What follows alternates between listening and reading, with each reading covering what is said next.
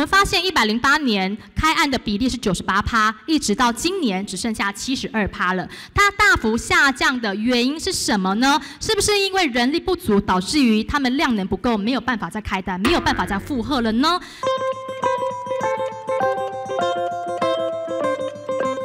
我们知道说市府团队真的非常的用心，想要活络我们的经济嘛，对不对？包括了可能未来连车坛的发展，还有包括演唱会经济，都是无非就是想要让大家收入多一点，无非就是想要让大家过更幸福的日子。所以呢，我们天下杂志的评比，从二零二一年的六都垫底，到去年第二名，到今年拿下金牌了。我们看见了市府团队的努力，我们是幸福城市。但是幸福城市的背后呢，到底是有什么样数字在等着我们去检验呢？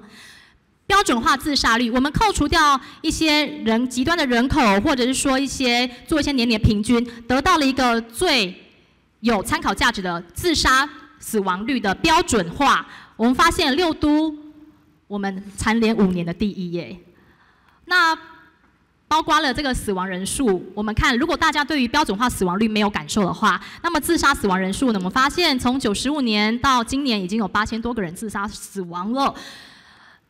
这个数字其实很沉重啦，因为每一条人命都是代表着一个人、一个家庭。我们每次看到有自杀相关新闻，我们都感到非常的沉痛。当然，这个数字是从九十五年开始统计的。我相信这个长期的问题，错不在市长一个人，错也不在我们高雄市府的整个团队。我们高雄有很多的结构性的因素，必须要去加快脚步去调整和改变。那包括了让人家很心痛的新闻是，今年短短的一周内有三。起青年的自杀案，十四岁的女学生，还有大学生，还有高三生，他们都选择了走上生命的尽头，到底是为什么呢？我们除了。这个数字以外，我们有两个进阶数据想要和您来探讨。我相信自杀它不能只沦于表面的数字而已。两个进阶数字，今天要来跟市长探讨，就是我们卫生局的新卫中心，它在自杀通报系统开案率为什么会连年下降，以及为什么我们通报后的三十天内再自杀率会是六度最高。这个表格，这个议题，我在部门质询的时候有质询过卫生局。我们发现，一百零八年开案的比例是九十八趴，一直到今年只剩下七十二趴了。它大幅下降的原因是什么呢？是不是因为人力不足导致于他们量能不够，没有办法再开单，没有办法再负荷了呢？那当时我们的卫生局有回复记者，回复呢新闻媒体说没有哦。我们不是七十二趴哦，今年开案率是百分之百哦，因为要扣除掉转介外县市的，扣除掉误报，所以百分之百。那我不知道说这个中间的落差到底在哪里？我们看到是七十二趴。好，那既然你说百分之百好了，我们看一下百分之百，也就是说他只要有通报，你们就通通接哦。但是通报通通都接是这样子吗？我们从自杀的通报系统里面看到这个数字，看到这个案例，评估结果是不收案。为什么呢？因为判断他只有自杀的意念而已，没有自杀的企图。问题来了，卫生局告诉我们开案百分之百，我们马上随便捞就捞到一个你不收案的一个案例啊？为什么是这样的结果呢？另外一个数字很可怕的是，我们发现。有超过百分之七十的个案，他在没有通报或是通报当天他就死亡了。我们也希望说，我们的新卫中心还有我们卫生局可以好好的研究一下这个数字。再来，我们的通报案啊，三十天内再自杀率是六度第一名，也是远高于全国的平均的。那为什么会是这个样子？我们知道说新闻中心很吃力、很吃紧，自杀关怀员呢，它的比例是一个自杀关怀员要关怀九十一个有自杀企图的人，一比九十一。我相信这个数字应该是透露出了一些问题在，人必须要赶快补进去，钱也要必须赶快到位。但是我们钱有比较少吗？其实没有，所以我也提出一个大胆的一个建议，我希望新卫中心可以并入毒防局，升格为心理健康局。为什么要做这样的建议呢？我们从一些文献当中可以发现，毒品、焦虑、忧郁，它是有很大的关联性的，而且忧郁症呢会使成年之后的患者自杀的行为风险增加十倍，所以他们的共病是环环相扣的。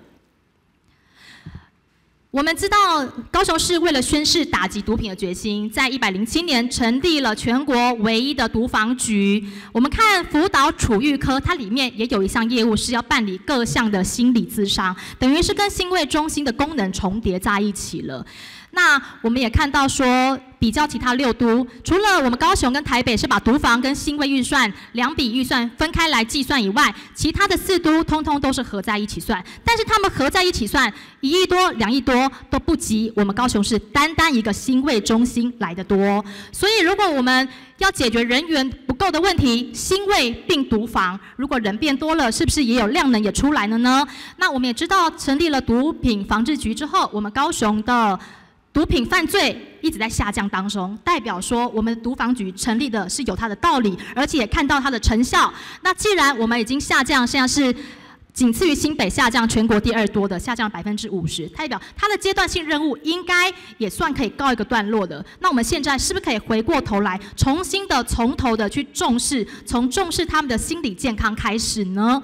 美国呢，他们也有分心理健康的服务，呃，他们把药物滥用预防中心还有心理健康服务中心也放在一起，包括我们中央的卫福部也是把他的心理健康还有成瘾的防治放在。一起会比较清楚它的脉络，所以我的建议是，希望是否可以宣示你对心理健康的重视，还有改善自杀数据的决心，并且要提升我们心理健康还有毒品防治局的预算，加强专辅，还有各管人力的补足，人力很重要，你不能有钱没人呐，有钱没人也是白搭。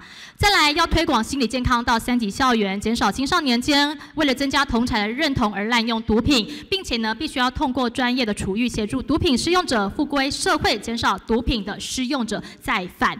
不知道说市长对于我这个大胆的建议，您意下如何？请市长回答。呃，议长，呃，谢谢啊白议员的指教哈。这个我们在公共卫生的一个统计了哈，我们在自杀的标准化这个部分跟四都没有显著的差异，是台北比较低，这个是事实啊。但是跟其他，因为还有信赖区间一些统计的一些一些问题啦，我这个也跟白议员做报告。那第二个，我不太赞成刚刚白议员的讲法啦，好，因为中央每一个组织呢。它都会有有时候像我们呃三十八个局处，我们就受限嘛，好，那中央其实也同样会面临到组织修法的问题，好，譬如说以前的口腔卫生跟心理卫生其实是被归类在同一个，那我们在高雄已经把它分开，因为犯罪的预防、毒品的防治跟啊这个所谓的这个自杀的心理等等，这个还是两个比较不一样的范畴，即使中间有啊重叠，譬如说。我们在一些自杀，也许服药会造成自杀的比例比较高，那这个只是在自杀的理由其中之一啦。但是毒防局它有本身有非常多的业务哦，包括犯罪的预防，还有这个这个这个，还有这个药药瘾的防治，好，所以它也会结合其他一些包括社会局的相关的这些业务。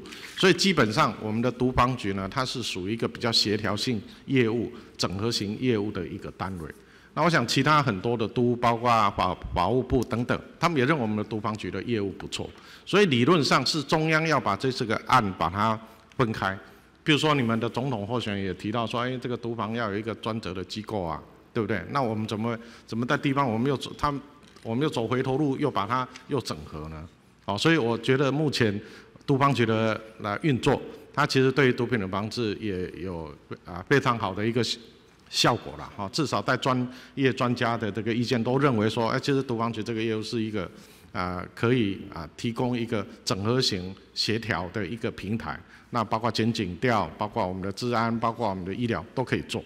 所以我我我觉得没有必要。好，那么市长就要想办法来解决人力不足的这个问题。对啊，自杀呢，它基本上还是属于一种我们在讲的身体啦，或者生理啦，或者是心理啦，等它属于是属于一个比较啊这个健康里面包括了。毒瘾跟药瘾。对，它是属于一个健康的一个范畴啦。健康也包括生理跟心理的健康，所以它是基本上是比较属于这一个部分。那需要其他的协助的时候，我们再由我们的自杀防治会议来做整合性的这。市长说的我认同。政策的制定。好，OK，没关系。市长有不同的想法，我当然都尊重。不过希望说，既然你认为两个局处没有并在一起的必要，那么新贵中心它的问题是刻不容缓的，你必须要想办法尽快帮他补足人力，因为他的开案率是连年在下滑当中的，他们人真的很不够，就算预算再多也没有用。